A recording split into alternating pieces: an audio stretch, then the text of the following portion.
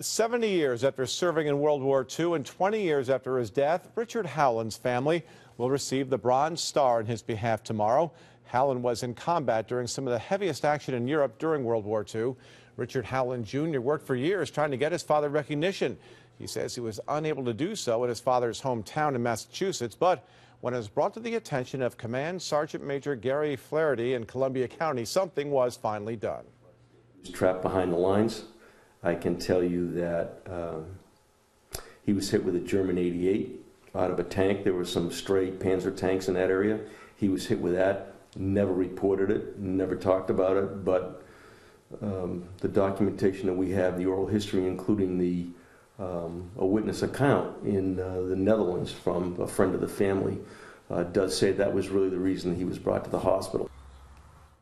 The ceremony will take place tomorrow afternoon at the Ghent VFW on Route 66. The Bronze Star will be awarded by Congressman Chris Gibson.